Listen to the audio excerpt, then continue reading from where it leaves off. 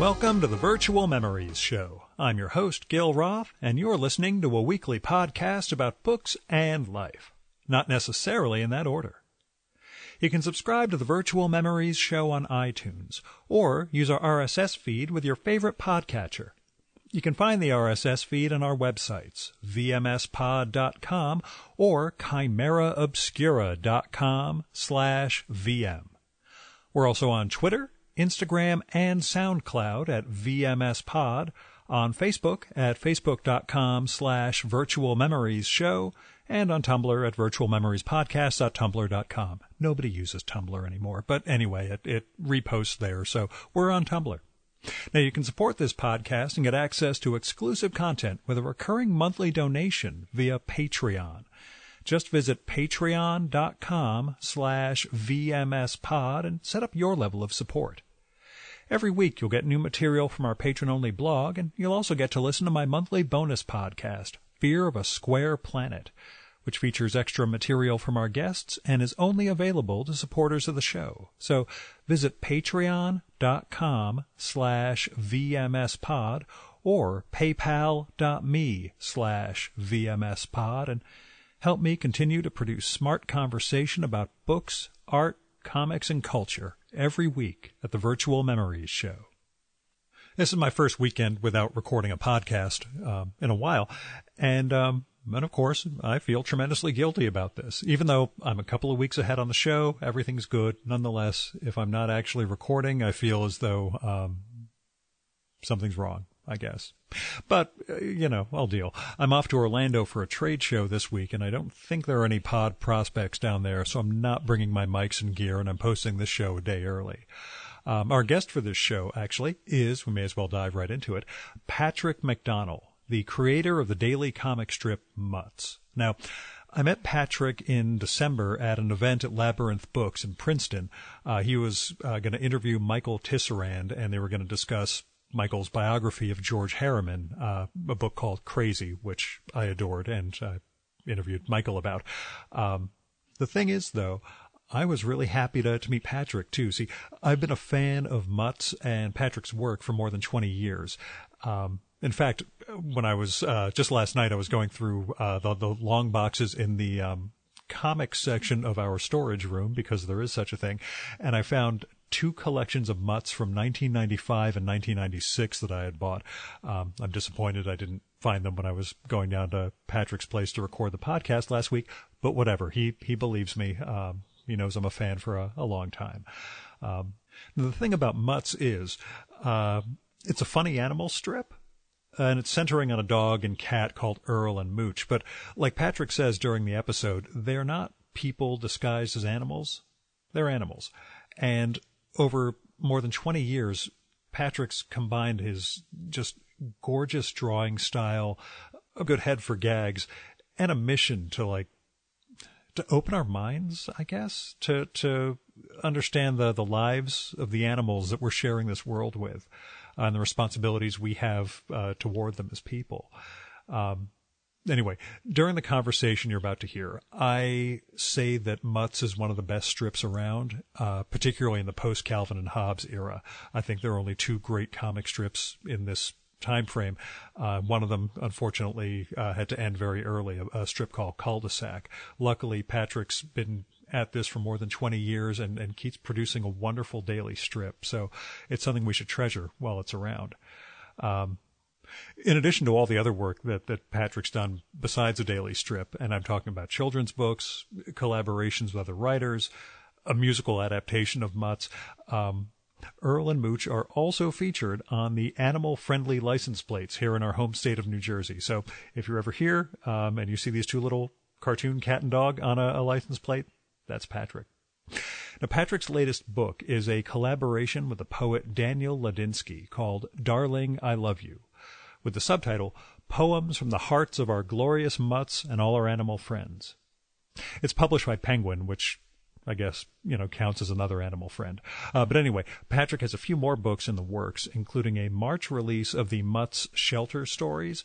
And according to Amazon, this September he'll have a children's book called The Little Red Cat Who Ran Away and Learned His ABCs the Hard Way, which sounds kind of interesting. Here's Patrick's bio from that new book with Daniel Ladinsky. There's a more extensive bio on his website, mutts.com. That's M-U-T-T-S. Patrick McDonnell is the creator of the comic strip Mutts, which debuted in 1994 and appears in over 700 newspapers in 22 countries. Mutts has been anthologized in 25 books in the United States and in numerous collections around the world. Patrick has created a dozen children's books, including the Caldecott Honor winning Me, Jane, a biography of Jane Goodall, and the New York Times best-selling The Gift of Nothing. He collaborated with Eckhart Tolle on Guardians of Being, spiritual teacher, sorry, spiritual teachings from our dogs and cats. He is a member of the board of directors of the Humane Society of the United States, the Fund for Animals, and the Charles M. Schulz Museum. And now, the Virtual Memories Show conversation with Patrick McDonnell.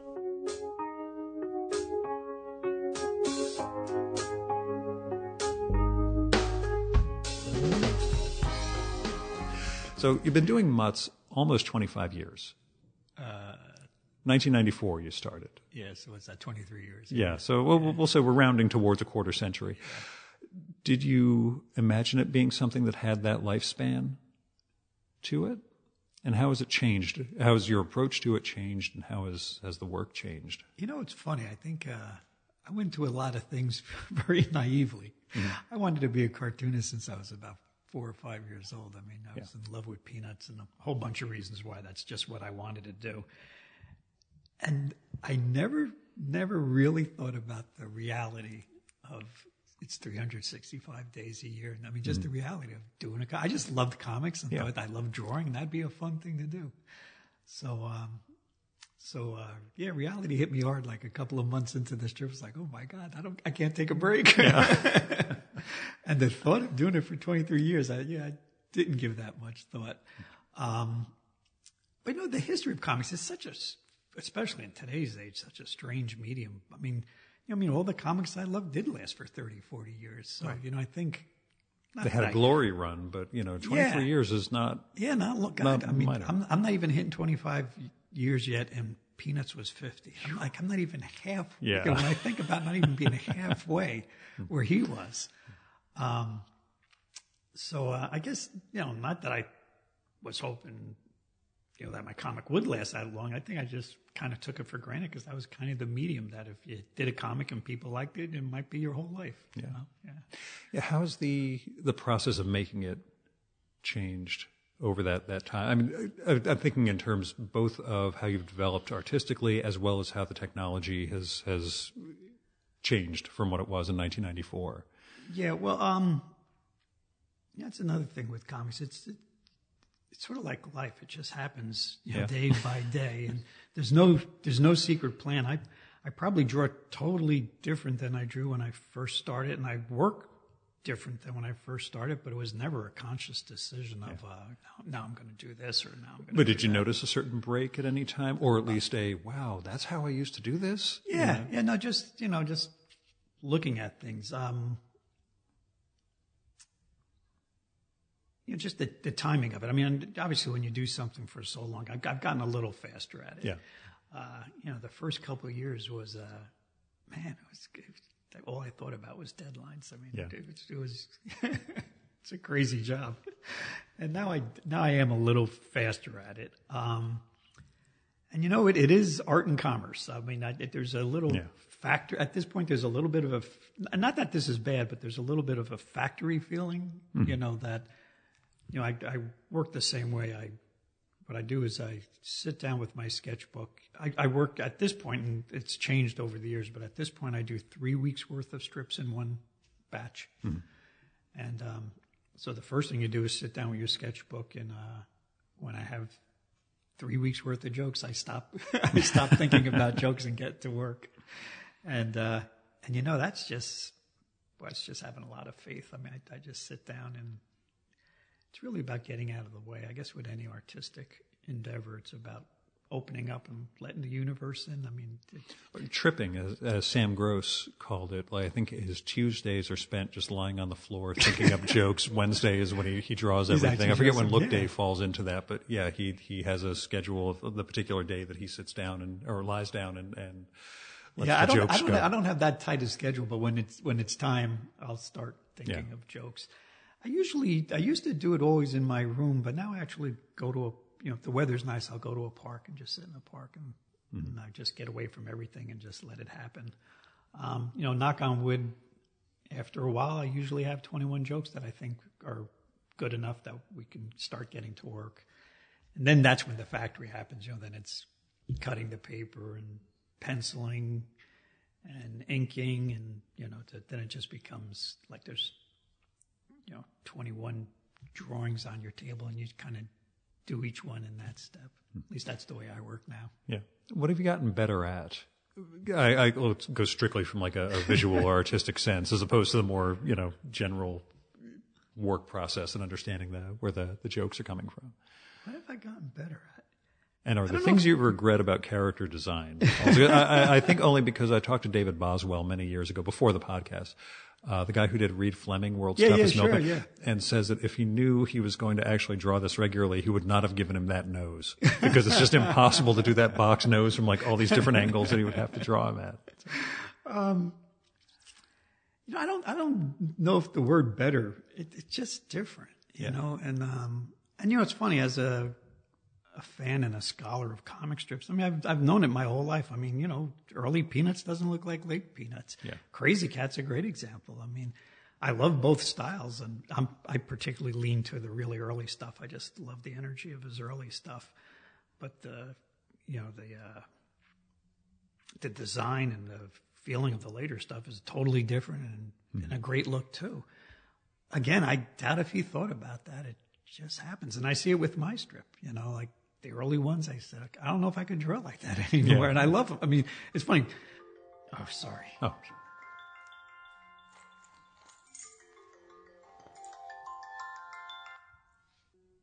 You know, you know, it's funny. I, I had the pleasure of, uh, you know, the greatest thing about becoming a cartoonist is I got to become friends with my hero, Charles Schulz. And um, I think it was the 40th anniversary. They wanted to put a book out, and he asked me. He gave me the honor of. He said, "You you pick the strips for the for the book." oh wow. Uh, so this was before uh, the internet and computers, and United Features literally mailed me 40 years of Xerox. Oh my God. I mean, it came in a box the size of a refrigerator. Oh, Wow.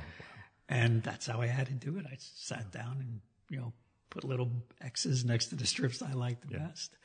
Um, but it's interesting. If, it was up to Sparky, because he told me and he said he can't do it because the publisher said he couldn't, but he didn't want any of their old. He, he, just because the early ones look so. yeah, he he was like, "Oh, I can't believe I didn't, you know, I didn't draw that right." And I and he he he kind of had a, and to me, I love those early strips, Yeah. and I was happy that the publisher wanted to put him in there. But uh, see, I, you know, it's funny. I look at my early stuff, and it definitely definitely looks different, and maybe it's not technically as good, but kind of like how loose that Yeah. that early stuff was. I have to admit, one of my all-time favorites of yours uh, is actually from the first year. Um, it was 1994, uh, single panel all the way across of, of the living room with a little bit of the kitchen. Uh, old lady is on the phone talking to someone saying "Small world, ha ha ha," and uh, in the foreground is the fish in his little tiny bowl, just saying "ha ha ha." Small world. Yeah. And I thought, wow, that guy gets it in a really, really terrible way. But oh my god! But yeah, as far as drawing goes, it's not you know super you know Patrick McDonnell y, but you know it's Yeah, it's, no, it's, it's real. Uh, I didn't even use, I didn't use any straight edge back then. I didn't like my doors. I freehand everything. Um, and I, I, I'm not sure why I made it. It's not a decision, but as I drew, you know, then I started using rulers in the strip. And it's funny when you, someone should have figured this out. I'm not me though. But I mean, if you look at comic strips that lasted a long time, and uh, you know, uh, Peanuts and Krazy Kat, my two favorites. You know, the early stuff is like really loose and sketchy, and the characters are kind of thin. And then they maybe it's old age, but the characters definitely get stockier, you know, and, and heavier yeah. and the and the backgrounds become starker and heavier. And I think it's true with Peanuts too. I mean, if if you look, you know, it becomes more designed, and maybe it's just that when you do something for so long, it it um it starts getting solid. But um, but I, and I see that with my work. I feel like the early stuff like the early Krazy Kat stuff. Not that I'm comparing myself to Krazy Kat, No, but just has, just as a yeah, practitioner. it has a yeah, it has a little more looseness to it and a little free, more free freedom with it, and then it gets a little tighter. Not that it, that's a bad thing; it's just different. Yeah, it's again the evolution as you get to know the characters better. I think I'd, I'd read in past interviews you did not think of this as a strip that was going to have a cat along with the dog. Oh, you, Oh, yeah. you had it as the dog, and the cat just shows up, and all of a sudden the cat and the dog are perfectly matched together, and you've got a different Yeah. a different idea for the strip than you you had Well, you know, at the this, outset. this- the- I was a magazine illustrator who wanted to be a cartoonist um, for ten years before I did Mutts. You know, when I uh, when I graduated school, I had a portfolio because I took illustration at the School of Visual Arts, so I had an illustration portfolio, and I wanted to be a comic strip artist, but at that time, the comics. This was before Calvin and Hobbes and Far Side, and comics were kind of, you know. Not More the most a- exciting place to Yeah. be. You know, it was mostly comics that were 100 years old and weren't all that interesting. So even though I had the love of comics, I mean, mainly because of Peanuts and, you know, being a fan of Segar and Winsor McCay and all those great comics, but that wasn't what was happening in the newspapers. And I wanted to also make a living, so I actually, you know, for better or worse, I actually got work as an illustrator and that kept me busy for 10 years. And the whole 10 years, my poor wife had to hear me saying, yeah, I really should be doing a comic strip. And, you know, I think seeing Calvin and Hobbes and Far Side actually make it in the paper, you know, all of a sudden it seemed like there was a little resurgence that, uh, you know, that the syndicates were willing to yeah, try something a little different. And uh, that there was a little more art back in the in, Yeah. the, in the comics. So finally, I, I did try Mutts, but at that point in my illustrations, I had a, I kind of, I you know, it's funny it was my little conceit in my illustrations that I was doing a comic strip because as many times as I could do a three panel illustration, even with words, sometimes, You know, I mean, I, I was doing comic strips. I um, my first job out of school was illustrating the Russell Baker column in the New York Times Magazine, which was every Sunday. Yeah.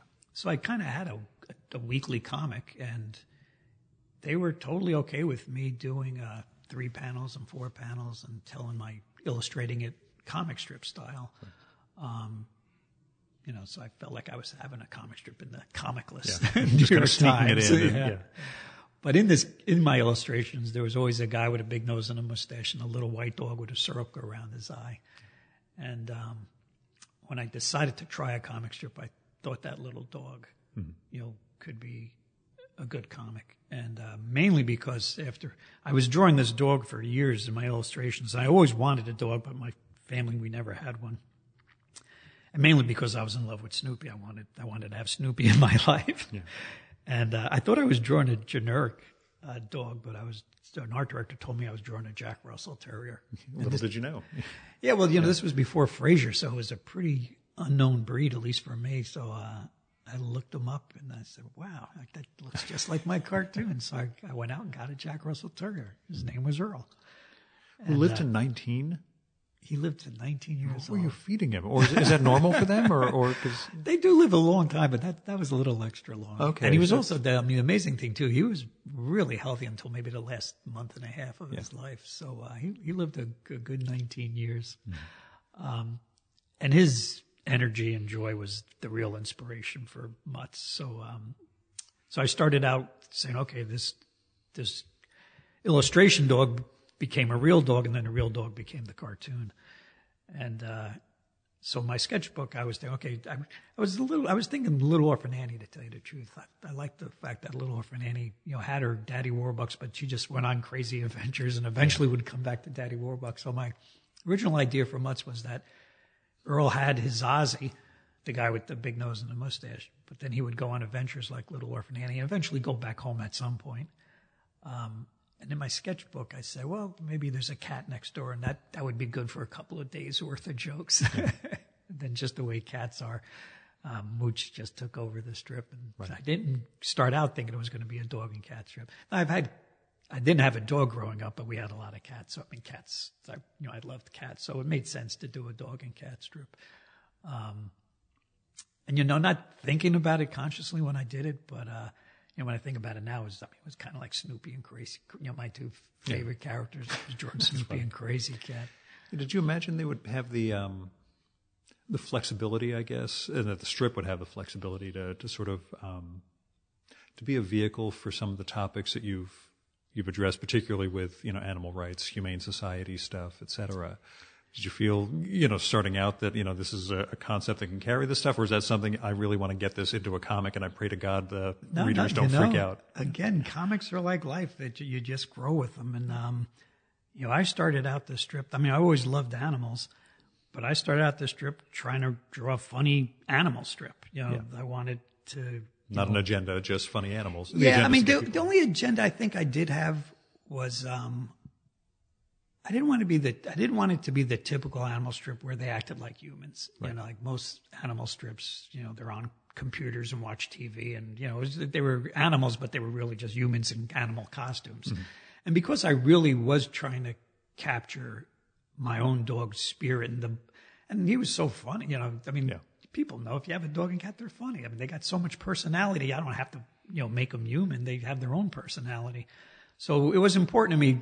I did go into it thinking I want people to relate to their own dog and cat. So, I, I mean, even though they speak English, you know, I, I was trying to keep them as dog-like and cat-like as possible. Um, and then, you know, trying to see the world through their eyes. You know, what's their life like? And and it, it suit me fine because you know, I'm a less is more guy and kind of a Zen attitude towards life. And you know, I was totally happy doing strips about things that are important to my dog, which basically was food and the weather. you know, I mean, very simple topics to make jokes about.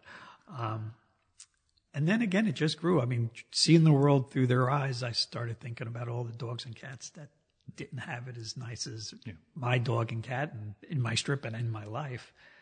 Uh, so I first started thinking about how could I talk about shelters and mutts. And um, at the same time that I was doing these little sketches of shelter dogs, uh, the Humane Society contacted me and said um, that the first week of November was National Animal Shelter Appreciation Week, and maybe I can mention it. And I thought, that's, that's perfect. I, Yeah. I have strips ready to go. So that started that, and then you know, over the years I became more conscious of um, you know how tough animals do have it on the planet, and if there's a way I could you know I'd be a voice for the voiceless. So uh, you know, slowly. I, I mean, at the same time, trying to make it entertaining. I didn't want it just to become a preachy comic strip, but I thought I had the opportunity to do that, and, and uh, Yeah, are you able to recognize when it's starting to veer? You know, when you're um, when the message is getting too you know non-comic strip. Yeah, well, it's, it's a, you know, you, you, um, you walk on a tightrope with Yeah. that. You know, um, they're all important to me and, um, you know, how you tell it. What, what, you know, what's really nice about the medium I'm in is, um, people, well, today they get it on the computer, but back, back in the day, you, you know, you read your morning paper and it's, it's characters that come into your life every day. So I mean, you, you treat them like family. I mean, you know, I mean, I think you know the reason Charlie Brown and Snoopy are so well loved, they were just like part of your family. You know, they're part of the you know morning table discussion, or you know. So I think you're open to those characters, and because it is like family, I think you can bring up topics like these animal issues I bring up once in a while, and because it's coming from a kind of friendly place, and I try to keep it friendly. You know. Um, so it's walking that tightrope of talking about things that are pretty powerful, but um, you know, keep it simple and And have an audience- understandable. an audience that relate trusts to you. it. You know, for all I mean, for all the things I've done, I've, I haven't really gotten any letters where people complain about that. If anything, I get letters, people happy. You know, we were talking earlier about. You know, I did a strip about um, greyhound rescue, you know, from the racetracks and stuff. And God, we, that's like one of the most popular strips. Yeah, Uh, it's one of the weirdest breeds of dogs, and I always have to explain to people that yeah, no, they don't need to run all the time. They actually don't want to run at all. They're really you know couch potatoes who are seventy-five to eighty pounds. But um, uh, actually, I want to get back to when you mentioned being an illustrator for about ten years before getting to the comic, uh, getting uh, mutts and then having your first strip. It reminds me in some ways of Richard Thompson, the the Yeah. late Richard Thompson, uh, a wonderful cartoonist who made the great comic Cul-de-sac. Uh, I- if anything, I consider Mutts and Cul-de-sac to be the two great post Calvin and Hobbes. His strip was amazing, just amazing. I mean, as good as anything. You know, Yeah. right up there with all the greats. That's the thing. You look at, you know, the landscape Yeah. isn't much greater than it was when you were, you were talking about the 80s period, but, but we did have we did have a similar. I mean, he was that's what I wonder. Both of you were illustrators yeah for a long about, time around the same this. around the same time we were doing illustrations for the longest time. Yeah, what do you think that had? I, I don't know if you'd ever spoken to him about this, but uh, do you feel what, what impact do you think it had working as an illustrator for years before moving into a comic strip? Oh, without a doubt, it was. Um, it was like you know doing the minor leagues. Yeah. and mainly you know again uh, you know the deadline's crazy, but as an illustrator, you know you you're used to deadlines. and, It sort of prepared working. you for certain aspects. Yeah, and of- also the thinking aspect. You know, you would get a story, and you know, at least the way I worked, I would, you know, give like ten or twelve different ideas to the magazines. You know, sketches of what what I could do, and then they would pick one. So my brain already was constantly thinking and as many jokes as I, you know, I would never just give a mag. You know, if they gave me a story, I would never just go back with one sketch and say, "Here it is." I'd give them like six or seven. You know, I have as many ideas as I could think of. I would give them. So that was really helpful for just being able to come up with visual ideas. You know, fast because that's basically what you have to Yeah. do when you're a cartoonist. I'll tell you something about Richard. A friend of his told me something recently, which I really feel bad about. Uh-oh. That um, you know, I didn't start much until I was uh, 38. 1994, so you would have been. Yeah, I think 38. Pretty old. And uh, No, you were you were ripening. yeah, I was right. um, but what I felt bad about is a friend of Richard's told me recently that uh, you know Richard was doing the comic strip for a while, and he was always thinking about maybe making a comic strip. But he used me as an example, like, well, I don't have to do it right away. I can wait a while. So you can blame me for Richard not doing cul-de-sac 20 years earlier. yeah, it's all your fault, McDonnell. My Richard Thompson story, which I got to share with his wife uh, last year at a, a tribute thing, um, he'd already been diagnosed with Parkinson's. It was already progressing. I had just started doing this a few months earlier and thought, you know, I better ask him just in case he's, you know, able to, you know, I'd love to, to record with him. Um, I've got a trip down to DC for my day job. You know, I'll do that. So I pitch him you know, he's on board, says, you know, yeah, you know, just my health is up and down, so you know, don't be Yeah, yeah. surprised if I have to tell you a few days beforehand, you know, that I can't. I said, please don't don't worry. You have Parkinson's. I'm just some guy from New Jersey. Um, two days before, he writes me, Gil, I'm so sorry, but you know, I've gotten worse. My voice sounds like what I imagine a mosquito hitting puberty sounds like. so I I just I can't do it. But is it okay if I have my friend Matt come instead? to, to record with you. I look up Matt Wuerker, who is at that point the uh, reigning Pulitzer Prize winner for Wow. political cartooning. I'm like, yeah, A, that would be fine. B, Richard, you don't owe me anything. I, you're, you, you have this horrible disease. I'm just some guy. But that was a sign of, of you know, how giving this guy was. And he was sitting there trying to fix things up for me. I'm like, I'm not the guy you need to worry about. So, uh, but I did tell his wife that story and she, yeah, that was my husband. He, he would keep giving like that. So, um, but as far as, uh, let me ask though, the illustration versus strips versus books, some of your stuff has been adapted for stage, but I don't know how involved you've been in. Oh, I, in- I wrote. I, you did write, write it, okay. How do those modes of work differ for you? And how do you make sure the strip is still, you know, being produced um, when you have these other projects? Because you've done about a dozen books at this point, in varying in, I mean, I, a dozen picture books. non- yeah, non- non- kid collections of- yeah, yeah, of yeah, probably at least a dozen. yeah. Um, well, I tell you, I don't get out of the house much. That's for sure. It's a great house though, so you oh know yeah, you- you're Well, excused. but you know, I figured if I was going to be in a house all the time, we would. We, it took us seven years to find this house, but I'm really happy we got it. Um, it's one of the nicer cartoonist homes. I won't say any details about it, but one of the nicer cartoonist homes I've ever been to. So well, I don't leave it often, so yeah, Um, well, you know, they're all, they all have their own. I really enjoy all of them. I mean, I, I don't do, I don't really do illustrations anymore. Mm-hmm. Actually, I feel like I'm responsible for killing all these art forms. I, I, I stopped illustrating, you know, to do, I pretty much stopped illustrating to do much because I didn't have the time to do much. And then pretty much magazine illustration. You, you can't make a living doing that anymore. And then I did the comic strip and then, you know, maybe 10 years into the comic strip, newspapers started disappearing. So I wouldn't yeah. tell anyone to become a newspaper cartoonist anymore. Um, I'm doing picture books now, and I don't know. I'm hoping that I'm yeah. hoping that stays healthy. you don't burn that to the ground. That stays healthy. And we're actually um, we're in the working on a, a Mutts movie, and I'm sure movies are going to disappear by yeah. the time it comes out. if it comes out. Like, sorry, we're doing everything out. directly to brain now. There's, there's, no longer a movie theater. But um, each, each one's different. I mean, illustration, I really, other than like Mutts illustrations and covers and things like that, I don't really do illustration anymore. Uh, the strip is like, you know, the thing that feeds everything. You know, it's mm-hmm. just I have to do that. Yeah. You know, it's and it keeps me pretty busy. But I love the, my favorite thing to do is the picture books. I really love uh, doing that. And, and what's nice about that, I mean, it's still telling stories with words and pictures. I mean, basically that's what I do. Mm-hmm. But the picture books are fun just because they're more experimental and they're more open. You know, when when you do a comic strip, I mean, it's always the same size, the right. same style, you know, the same characters. So I really love doing the picture books because I start each one. I don't know what I'm going to do, who's who's going to be in it, how, even what medium I'm going to, you know, whether it's going to be watercolor or brush or pen and ink or. So I really enjoy doing the, the picture books. They're they're a lot of fun, and uh, and working on the play was great. God, it was like the best experience I ever had. At the Kennedy Center in D.C.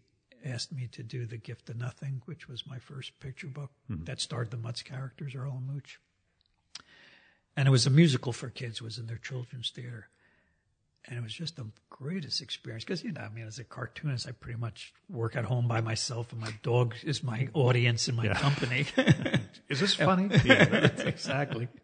Um, but boy, just doing something that collaborative. Yeah, well, uh, was that difficult for you? It, no, I was there any it. part of it that you had? I, well, to, you know, I had geniuses. Yeah, I had, well. a, I had a, a, great director, Aaron Posner, and uh, the guy who wrote the music, um, Andy Mitton. So I mean, it was just fun to work with people who really knew, you know, were really great at what they do and helped me along. Uh, the three of us pretty much wrote it together, and uh, I was there. God, I, it was in DC. I was spending a lot. Was, I was, yeah, I was a rough time because, you know, time is the most important thing for cartoonists. Yeah. So I was spending a lot of time in DC away from my drawing table, but it was just so much fun and I, it was so great to see. Are you able to draw anywhere but the, able to draw the comic anywhere but, but the drawing? You know, room? I don't. I know some cartoonists do. Actually, uh, it's funny. The, you know, I'm a member of the National Cartoonist Society. And I became a member when I didn't do Mutts. It was before I did Mutts. I actually uh, was a magazine illustrator, and at a Sports Illustrated party, Arnie Roth uh, came up to me and said, "You should be a member of the National Cartoonist Society." And I, I, told him, I said, "I took it for granted you needed a comic strip to do that." And he goes, "Nah, if you do funny illustrations, they'll you could be a member." So of course I joined because you know at that time I was still dying to be a cartoonist and just wanted to be around comic strip people. So, um, so I became a member, and uh, the first award dinner I went to was in Washington D.C. And I met Mike Peters in the lobby, mm-hmm. and we were having a great conversation. And his wife came up to him and said, "Mike, you got to go up and draw." And it was like a Saturday night, and it was the night of the Reubens. Sorry. and he walked away, and I said, "Wow!" And I had no idea that was my future. I should. That was a warning sign. God, yeah. God presented me a warning sign, which I didn't, didn't, take at all. Yeah, let me ask. Considering uh, genres and art forms that you've destroyed, uh, had you ever had you ever thought of being a comic book artist? I know you've got a, a Jack Kirby. I've seen a few of the Kirby's that you've you've got here, and I know there's a superhero background for you. Had that ever been a, an area that you you know, it's funny. I would, I, I mean, like any kid, especially when I grew up. I mean, Kirby and Ditko were drawing comics when I was really young. Um, I mean, I loved com- superhero comics, yeah. and as a kid, and even to this day, I'll still sketch a superhero just when I'm sketching. But uh, you know, I I leaned towards the uh, you know Peanuts and Creed, the the funnier, sillier, yeah. simpler things. I And even though I totally am a guy, I love Jack Kirby and totally admire his outlooks and his cosmic, uh, the way he tells stories and everything. And I'm sure somewhere in there, I'm inf- you know, there's some influence that comes out in Mutts somewhere. I'm not sure where. But I, I never had the desire to um, to, to, go to, to go the superhero route. Okay, that's yeah. what I'd wondered and, as know, you were developing as general, an artist. I'm not a that's funny. I'm not really a story guy. I, I, mean, one of the things that appeals to me about comic strips is how sh- short. I mean, they're mm. I, they're more poetic. I yeah. think I think I lean towards poetry. Um, I like things that are short and sweet and simple. Yeah. Even when you extend the narrative for you know a week or two, it's still yeah. You know, it, it's I mean, and it's totally I like, these little I poetic like, blocks. I like too. three panels, you know, or one panel. I did. I, I'm long long stories. I love reading them and looking at them, but I don't know. If, yeah. And that's why the, the play was interesting because the theater and comic strips are pretty closely linked because it, it's yeah. intimate and you don't need big stories or big actions. Mm-hmm. I mean, so I found writing the play close to be. I mean, even though it was a 90 minute play and had to be a 90 minute story, it still was just like little vignettes and moments that you could do in plays. Not the same as movies. I'm work, I, I wrote the script for the Mutts movie, um, and that was that was a really learning experience because yeah. Can you expand on that? Yeah, because you know that that you do need a story, and I think mm-hmm. that's why, God, well, you see now are comic superhero book adaptations, yeah, because they're this. It's the same medium. It's action and it's wild stories and complicated plots or whatever, and, and comic strips aren't that. So it was really interesting to keep the spirit of Mutts and that feeling of Mutts in a 90 minute kind of action, you know, action movie. So, uh, did you have to keep writing in pauses where, where Ernest and Mooch are just kind of looking off into the distance about something? Uh, yeah, no, but I, I, I think I did it. And if all goes well, it'll, it'll be made and people will enjoy it. But it was a, different experience where the theater, I didn't have that same problem. The theater, was a little more comic strippy mm-hmm. in terms of it. And I guess the you know throughout history, I mean Annie and Little Abner, I mean a lot of comic strips have been successful yeah. plays, and maybe that's the reason they they just they're closer in spirit. And you had some seriously creative people yeah. behind the strips and and the the, the play side. Um, you've mentioned Krazy Kat a bunch of times, and mm-hmm. I know um, you you helped put together one of the first monographs on George Herriman's work uh, back in the '80s. Do you have a Coconino County? or is, is New Jersey your Coconino? Yeah, I always say. I never say it. I never, I never in the strip said what town they live in or where they live. But in my head, uh, it's always been a little uh, idealized, dreamy New Jersey of my youth. Mm-hmm. I think, you know, um, you know, just little suburban towns, the big city looming in the background, yeah. New York. Um, and they go down the shore every summer. So right. that's, that's, just a Jersey thing to do. Mm-hmm. So it is like a, you know, uh, my uh, corny version of New Jersey. Yeah. Had you ever lived anywhere else in general? Uh, Manhattan. Yeah, that's what I mean. Yeah. You never moved anywhere beyond no, no, a, basically a 35 mile yeah, line. East from, Coast guy. Because I live in the house I grew up in, uh, uh, in, in New, and in fact, the the road out of our town, Skyline Drive, is two roads out of town. Um, Skyline Drive is about 20 miles away from the New York skyline, which you can see, see in almost its entirety. Yeah. yeah. as you go over, it's the up there's the almost all of the city, and that's always been my my you know distant yeah, yeah. focal point. Um, but and, yeah, I, and I lived in Hoboken for a while, so I had the same skyline. Yeah, but I, I, that's the thing. I'd wondered if there was a um, something that informs geographically, or again uh, spiritually, if it's that you know that sense of a quiet New Jersey suburb where yeah. you know there's the woods. I, I will show you a picture uh, after we finish up of the bear who wanders through our yard every so often. I guess you don't get that down here. Um, the deer, I'm sure you probably yeah still, we we still have the deer, and yeah. when I the town I grew up in, we you know um, like two blocks from my house there was woods where we used to see turtles and catch frogs and things yeah. like that. So it's it's a little combination of my youth, I suppose. Right. It's one of those uh, where we try and explain the stereotype of New Jersey to the reality of, of what we have. It's, uh-huh.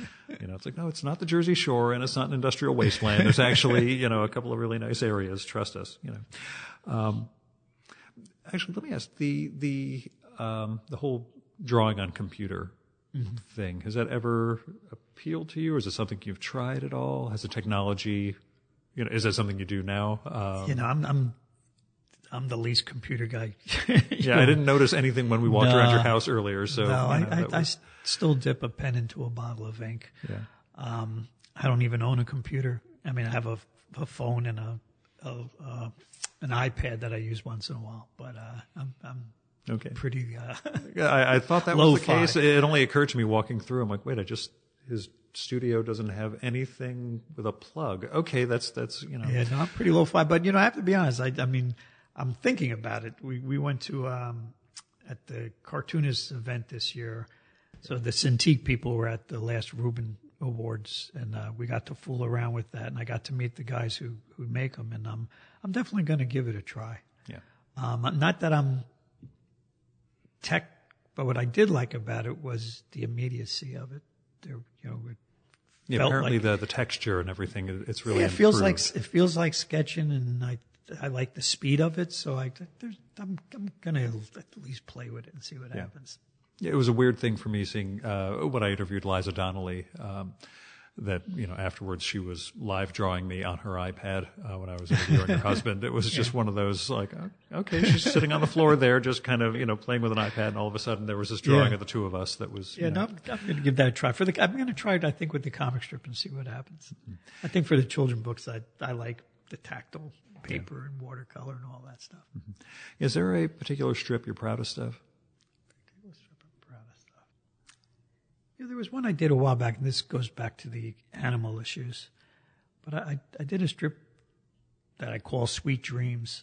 And in the first panel, uh, Millie is petting her cat Mooch and saying sweet dreams, and he's on his little cat bed in a warm house.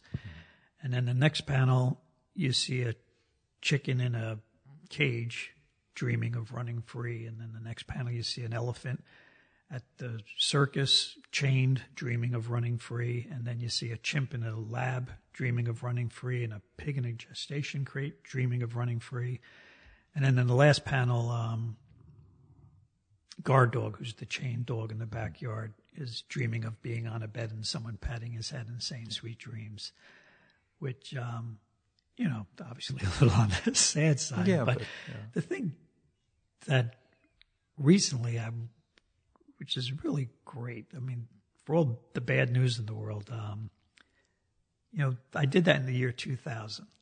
And here in 2017, I mean, all those things I drew are, are starting to disappear, which I didn't think would be true in 2000. But, you know, there's no more elephants in this Ringling Brothers Circus. I mean, that's amazing. I will say with the the lab thing, I used to be the editor of a trade magazine in the pharmaceutical sector, and th- they didn't want animal experimentation. Like their whole thing was, if we could do this on the computer and model it, we They'd wouldn't need to do this. And, they, and they've made great advances in being able to to do more modeling, get rid of not get rid of, stop having to to breed. You know, both the Mm-hmm. mice and the, the primates and everything else that they're using, but. But yeah, it's you know that's got to feel pretty good though to see Yeah, no, know, I the world changing like that. Yeah, that those were all major problems. They're all being addressed, and I just think, yeah, I know we got a long way to go, but I think, you know, consciousness is being raised a little bit about animals and how we treat them. Now, you mentioned Charles Schulz also as the other, uh, b- besides uh, George Herriman and Krazy Kat as as major influences um, on you. You've gotten to meet, or you got to meet Charles Schultz, um, and he actually gave you one of the greatest blurbs um, of all time. Were there other cartooning legends that you got to meet as you were coming up, and, and other guys that you looked up to with just a holy crap, thank God, I, I, you know, or at least this person actually knows who I am. Oh, this is fantastic. Or pretty much in Charles Schulz kind of eclipse everybody else in those terms. It's, know. it's really hard to top Charles Schulz. I wouldn't and, say top, but is, is anyone else, you know? In, in and you know, my my all my other uh, favorites and great heroes have been gone a Yeah, long, long time. Winsor McCay is you know, I got to meet. George Herriman's granddaughter, uh, Segar. All those people have, have been long gone. But some, I mean, I, you know, I, I did get to meet Jack Kirby uh, twice. I used to go to comic conventions when I was a young kid, and, and uh, to see Jack Kirby with his cigar in his mouth and shake his hand was I will, I'll never forget that. Um, you know, the other person is uh, Jules Feiffer. Yeah. yeah, I, I got to got to meet and get to know Jules Feiffer, who just amazing. Uh, you know, um, my mom and dad met at Cooper Union Art School, and growing up, you know, art was encouraged, and my mom and dad had a lot of art books in the house, and the two I remember, and these are like some of my earliest memories. This is you know like you know being a two year old was uh, her Pogo collection and her Jules Feiffer collection, and you know as a little kid. I, I, I couldn't even read, but I was just mesmerized about those the sweep of those lines. Oh my God, the, the, lines, that how those characters were alive. I mean, they were just little black and white drawings, and they were like alive on the page. And I used to pore over those things. So, um, one of the nicest things when I first met Jules, I uh, I bought my mother's copy of one of his early oh. books, and he drew a little dancer for my mom. And that was the story of when I met him at the Small Press Expo. Um, basically, Drew Friedman shoved me into a room with with him, Lynda Barry, Tom Tomorrow, and Warren, who, who runs the Small Press Expo. And I just, uh, Drew said I should pick up a bagel and some lox, you know, and I ate, sat in a corner and, and sat down. And Jules sat down next to me to ask who I am, you know, what I do, et cetera. That's how I pitched him on the show. But what's funny is, you know, we're, we're sitting there kind of shooting the breeze. And then, uh, Lynda says, um, Jules, do you mind signing something for me? And takes out, you know, some long held Jules Feiffer book. At which point, Tom Tomorrow and Warren both start lunging for their, their bags also because they also have tons of stuff they want Jules to sign. And it was just a question of who was going to break the ice first because it's, I, I liken it to a story, uh, from late in Michael Jordan's career when some guy, an opposing shooting guard, you know, kind of chest bumped in front of him that he, he, you know, trumped Jordan. And Jordan said to me, You're wearing my shoes. There's a moment of like, kid, I know that's nice, but you're wearing Air Jordans right now. Think about what you're doing. Uh, but yeah, all these guys, to see that level of reverence uh, towards Jules. Uh, there's a picture of, of uh, Lynda shooting a selfie with him. You know, that, that's, you know. Uh, Jules, Jules is another hero. I mean, uh, he's very inspiring to me. I mean, before I even met him, I mean, I just loved his work. And I, especially again, the poetry of his work and the, yeah you know, the, the, poetry in his line, you know, the, the looseness of that. And boy, I remember he opened the world to me because I saw a show that had a few of his originals and they were paste ups all over the place that, yeah. you know, he would sketch something and then yeah. paste it on. And I never thought of doing that because yeah. I was used to looking at, um, God, you look at Krazy Kat originals or Peanuts or there's not even whiteout on those things. They're really? like perfect. Like how, how could someone do that? And then Jules Feiffer's, you could tell they were like little cut and paste jobs. And I was like, oh, I can give myself the liberty to cut and paste and just, you know, be looser. Um, I, I, the first time that occurred to me was uh, not in, in visual art, but listening to demos of either the Beatles or an Elvis Costello song and realizing, oh, it's not perfect right out of the box. yeah. Okay, yeah, you, you can make mistakes and you know try out different things. And yeah, I trust me, I was a slow learner, all things considered. Well, you know, I I love those mistakes. Yeah. You know, I. I you know, I love people's sketches, and, I, and so anyone's work, you know, Percy Crosby, Jules Feiffer. I mean, work that looks that immediate just mm-hmm. really appeals to me. Um, it's funny. It, I think my early Mutt strips had that more immediate feeling. As I've do it more, it becomes a little more um, not as immediate for whatever reason. But my picture books, I I don't pencil or do anything. I just I just go draw. right into yeah. I do the paste the paste up the Jules Feiffer paste up with those, and just let them happen and let them have that that feeling. You know, it's funny. I once uh, I once do you know the illustrator Elwood Smith? No, no, I don't. Yeah, he, he was an illustrator when I was an illustrator, and uh, he had a very he had a very uh, cartoony style, you know, Bigfoot cartoony, uh, like uh, Billy DeBeck. He had like a Billy DeBeck look in his illustrations. But when I went to visit him once, and we were going to trade illustrations, you know, which illustrators used to do. And I went to his house, and he had a million framed illustrations throughout his house. And I looked by his phone and he had a big pad by his phone that was just filled with a million doodles. And I said, that's what I want. and he traded me. He, he said he had, to, he had to copy some of the phone numbers down, yeah. but uh, he gave me that. And I, I just loved it because you know, again, it was just that, you know, fast, yeah. not thinking art.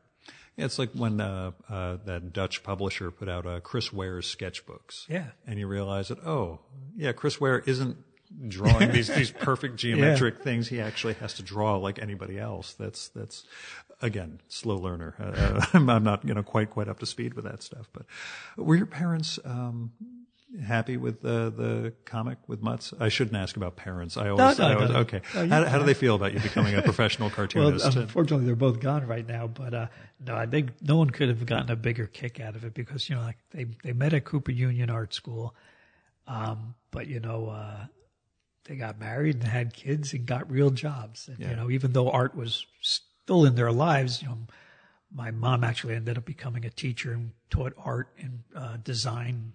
And, um, but, you know, my dad didn't become an artist, but always sketched, you know, those napkins and actually have a lot of his, he did, for whatever reason, we had paper plates and he, at the middle of the night, he would draw on paper plates.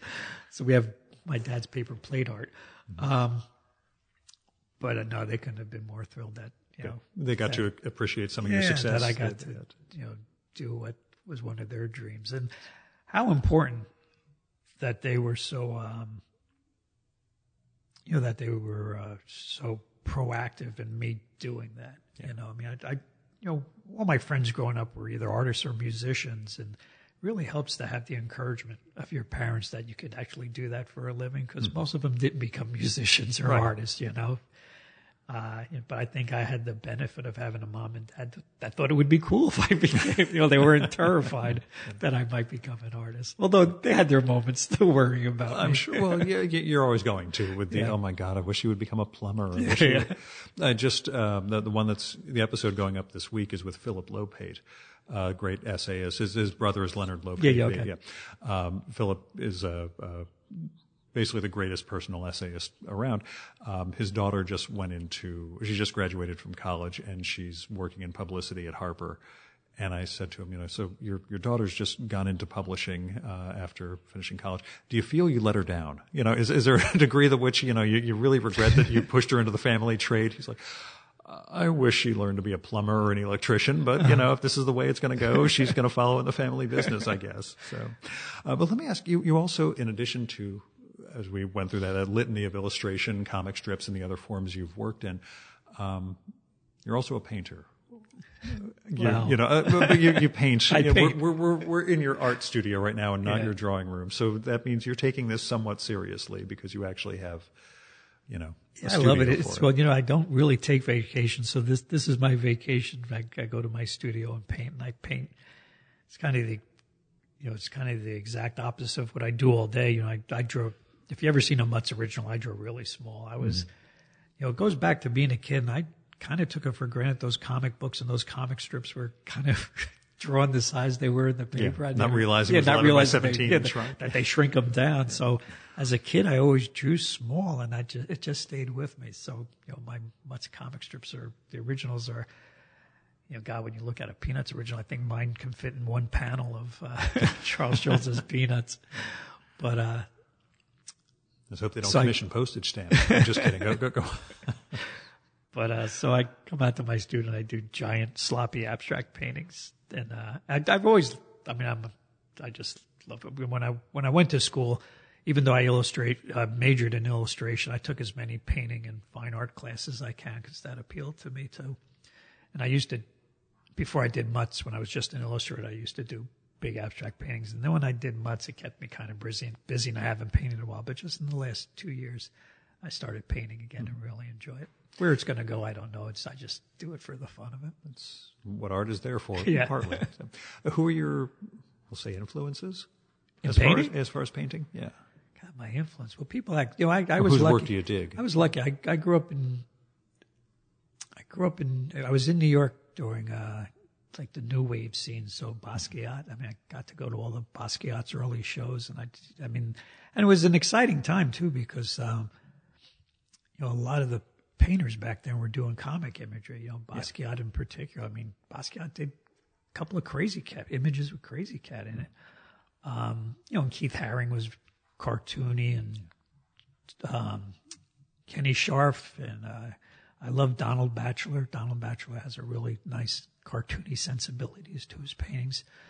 So those guys during that era really excited me. But as far as painters go, my, my favorite painter is Cy Twombly. And uh, so Cy Twombly, Motherwell, de Kooning, all, all the, I, I'll look at any abstract art. That post-war thing you've got there. Yeah, That's, that's, yeah, those those painters, and then, I mean, Monet and Van Gogh, all the classics. Uh, yeah, I'm really lucky. Right over here, there's a great art museum that I could walk to, and I go. I sometimes I work on comic strips in the art museum. yeah. I have to send my brother out here also because there's a uh, Springsteen photographic Yeah, yeah. across the street, and he's well from New Jersey, so you know that's kind of his. his. That's funny. Michael Tisserand was here for the Krazy Kat Yeah. view, and that was the first place he wanted to go to see the Bruce Springsteen Nice. I, I hadn't noticed it. We were walking down here. We parked over at Palmer Square and walked Oh, okay. This will lead up to the, the horrible question I have to ask. But uh, since you know we had to say goodbye to our dog two months ago, Amy and I try to make sure we do as much walking as we can because Yeah. that was sort of Rufus T. Firefly was the reason we got out walking all the time. You know, in, in this world, people don't walk. I mean, usually the only people you see out walking are other people with dogs. Yeah, and that was people. Our neighborhood. They started to. Oh God, there goes those two people who I've never gotten their names of, but they don't have their dog with them anymore, and that that led to the yeah, the awful Yeah. question. In fact, let me ask the question now. Um, how long? Well, we had to say goodbye to our dog in uh, very early December, about a week after Thanksgiving. We'd had him about nine years. What sort of gap?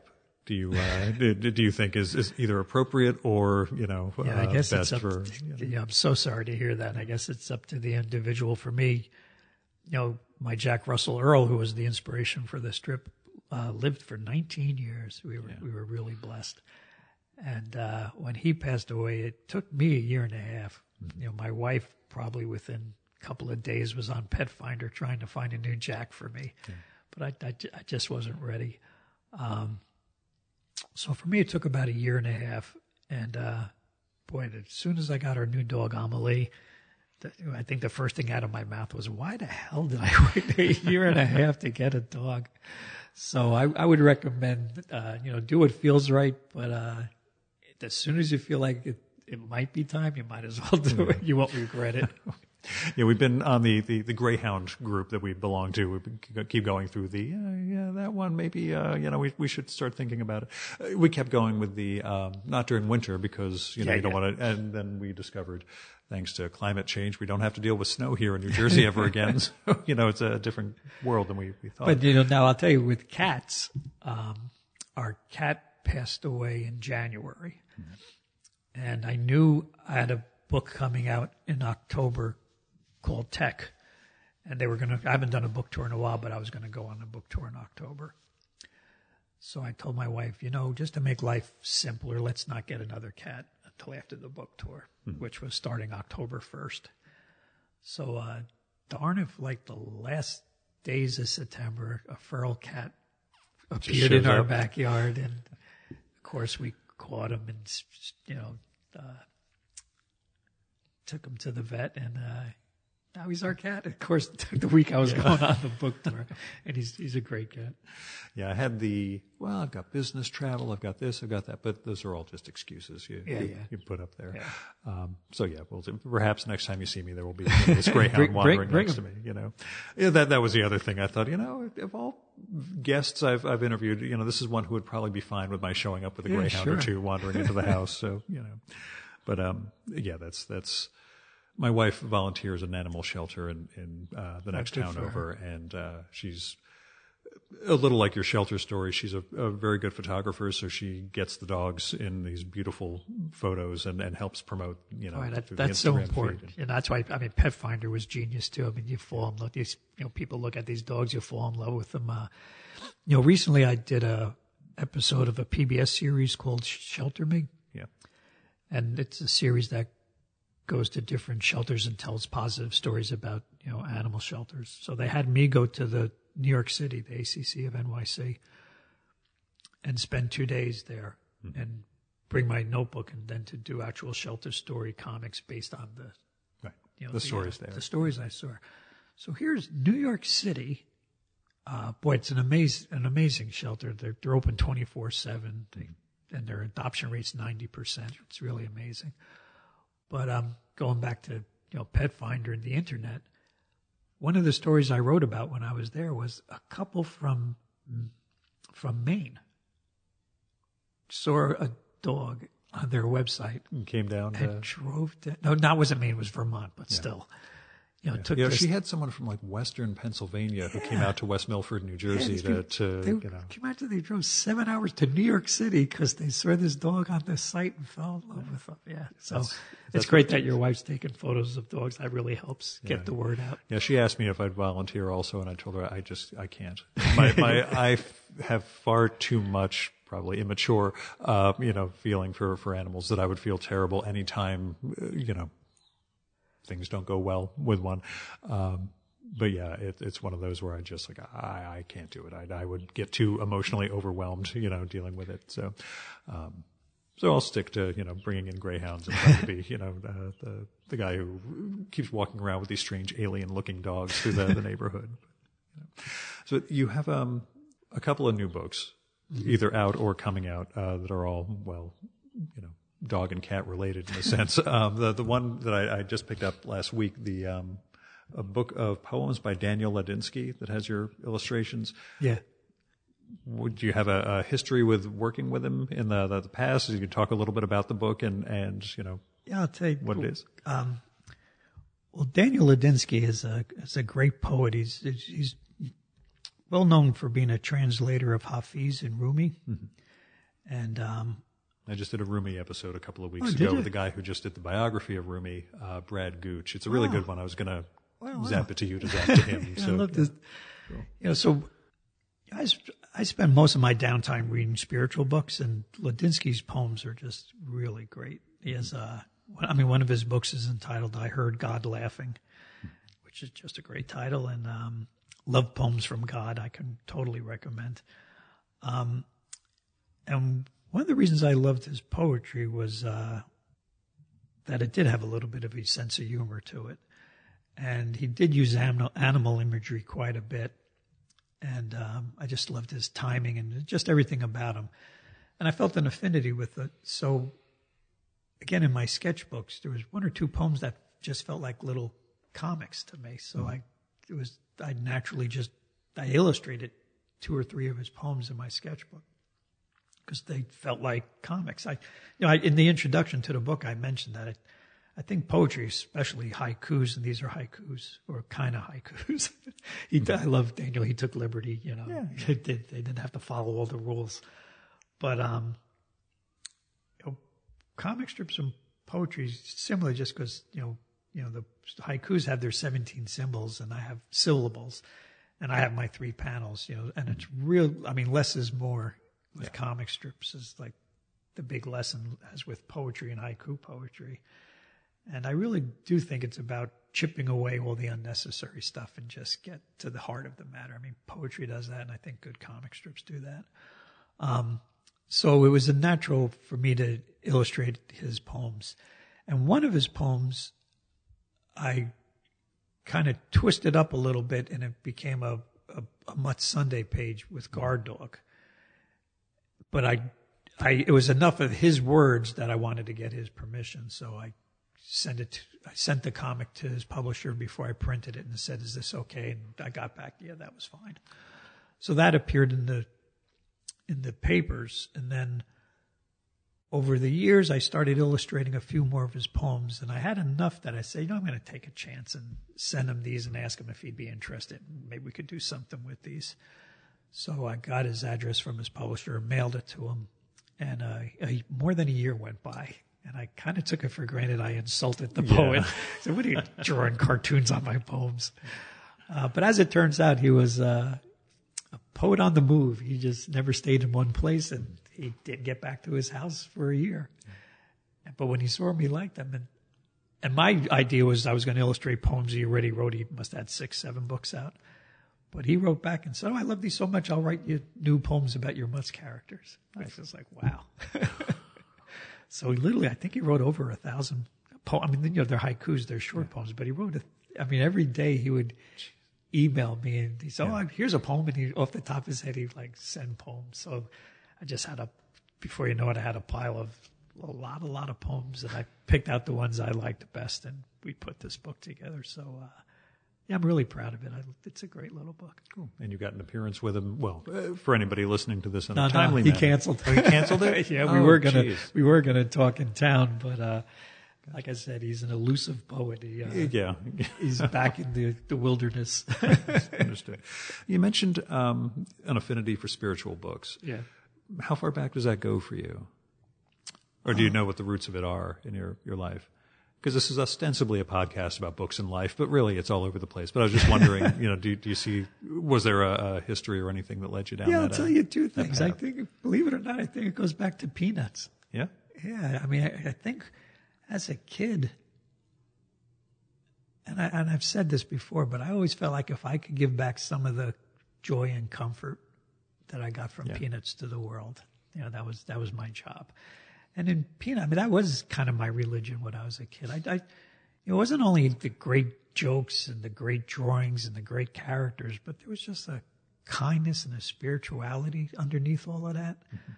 Um, and I think that's true of all great art. Like I said, you know, as a cartoonist, you keep on chipping away until you get to the essence of something. And I think in life, if you keep on chipping away at anything, the essence is love.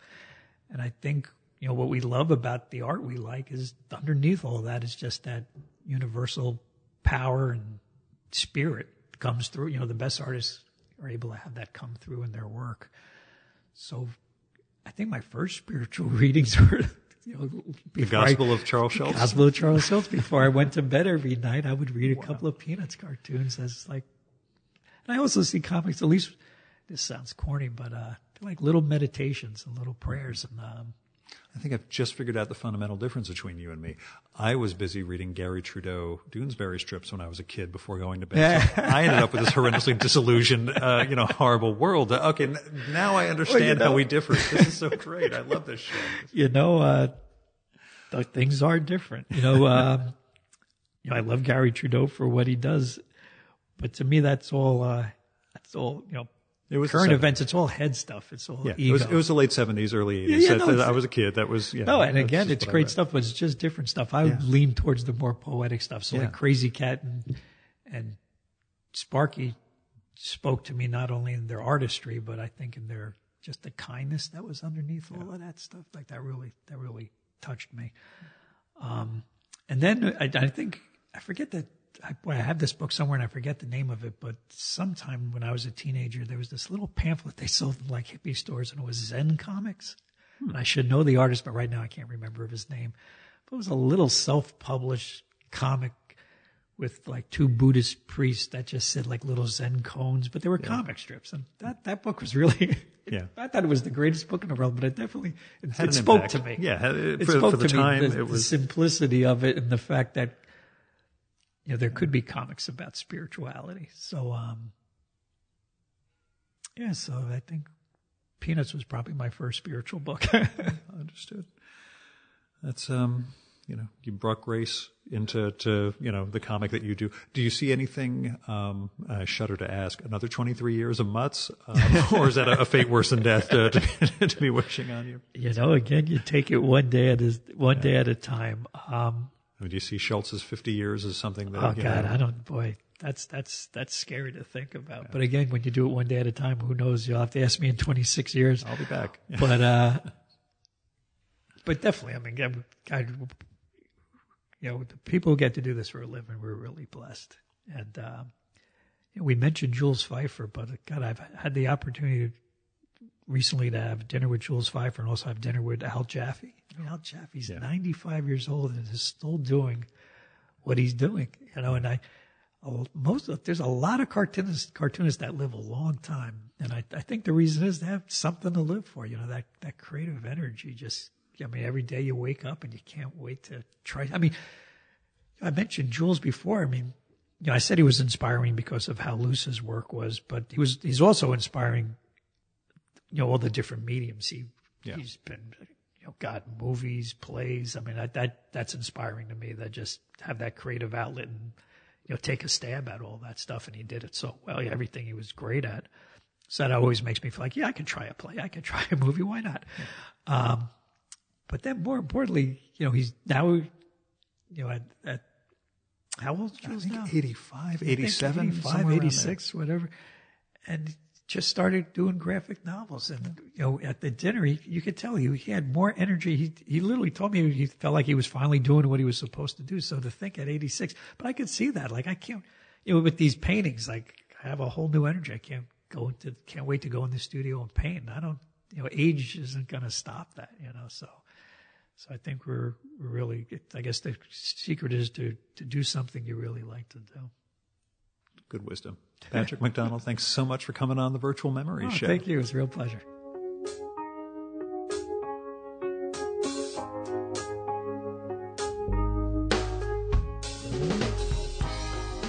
And that was Patrick McDonnell. His comic strip Mutts is published daily in more than 700 newspapers, and you can also find it at mutts.com, M-U-T-T-S. Um, that'll have the current day strip as well as the previous two weeks worth. Um, there's a there are a lot of collections of Mutts comics to enjoy, including the best of Mutts, which covered the first ten years of the strip. Um, it's it's a nice hardcover edition. It gives you a good sampling of how the uh, the strip started out. Um, like I said during the episode, Mutts is one of the two best comic strips in the post Calvin and Hobbes era, cul-de-sac being the other one. Um, visit mutts.com and check out not just the strip, but the huge body of work that Patrick's made over the years, the, the work that he does for the Humane Society, the work that he does to, to get us to understand and, and care about the animals in our lives that much more. Um, I do want to thank him and his wife uh, both for showing us such hospitality. My wife came along on, on this one. Um, they gave us a nice tour of their home. Uh, my wife and, and Karen O'Connell spent uh, the, the, entire time talking while Patrick and I were recording. Um, they're good people. And they also, um, as I've alluded to but did not talk about on the podcast much, we had to say goodbye to our, our Greyhound Rufus T. Firefly Roth uh, back in December, and I've been pretty broken up about that for a while.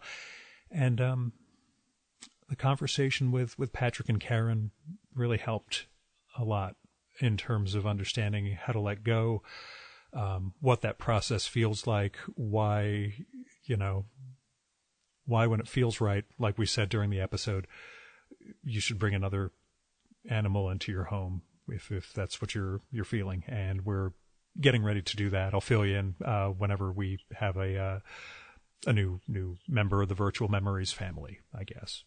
Anyway, I just want to say this is a very special episode in a lot of different ways, um, and I want to thank them again for you know taking us into their home. Oh, and Patrick did show me some of his paintings. We were recording in his his painting studio. Um, sort of hoping some of them are somehow affordable when he decides to exhibit because there are some really gorgeous ones and and I would love to have some of these in my living room. Anyway, uh, like I said, this one was recorded in the painting studio at Patrick McDonnell's home in Princeton. Uh, there were no tolls to get down there, no bridges or anything like that. So it was just gas, uh, a few bucks for parking at a garage off Palmer Square, uh, and a coffee over at Rojo's Ro- uh, Roastery if you're ever in Princeton looking for a pick me up, a legal pick me up, um, they make a pretty good pour over. So Rojo's Roastery, they're on Palmer Square. Uh, they're right next to a neat olive oil place, which makes my wife happy too. So anyway, Princeton's just a wonderful, wonderful town to visit, and I'm, I'm glad we got to get down there. Still, if you want to help defray some of the costs of the virtual memories show, like web hosting, travel, equipment, coffee, uh, then visit patreon.com slash vmspod or paypal.me slash vmspod and make a one-time or recurring donation. Now, speaking of donors, special thanks go out to Paul W. Jones, Kevin Katila, Michael Janizik, Fred Kish, Jonathan Kranz, Andrew Mason, Greg Tanner, Zach Martin, Craig P. Steffen, and Ron Slate for going over and above in their support of the Virtual Memories show. There's a full list of show supporters at chimeraobscura.com slash VM. Now, our music for this episode is Nothing's Gonna Bring Me Down, although I did want to use Free the Animal by Sia, but I don't have the rights to do that. Uh, Nothing's Gonna Bring Me Down is by David Baerwald, and it's used with permission from the artist. David has a reunion project going with his great 80s band, David and David. They made the wonderful album Welcome to the Boomtown. You can find out more about the reunion and support that at facebook.com slash David and David Music. And that's it for this week's Virtual Memories Show. Thanks so much for listening. We'll be back next week with Jessa Crispin, who will talk about how she has managed to publish three books since she was last on the show, making me feel like even more of a slacker. Till next time, You can subscribe to the Virtual Memory Show and download past episodes at the iTunes Store or at soundcloud.com slash vmspod. You can also find all our episodes and get on our email list at either of our websites, vmspod.com or chimeraobscura.com slash vm. You can also follow the Virtual Memories Show on Twitter and Instagram at VMSPod, on Facebook at facebook.com slash Virtual Memories Show, and at virtualmemoriespodcast.tumblr.com. And if you like this show, please go to iTunes, look up the Virtual Memories Show, and leave a rating and maybe a review for this podcast. And that'll help us build a bigger audience. Until next time, you've been listening to the Virtual Memories Show. I'm your host, Gil Roth, and you are awesome. Keep it that way.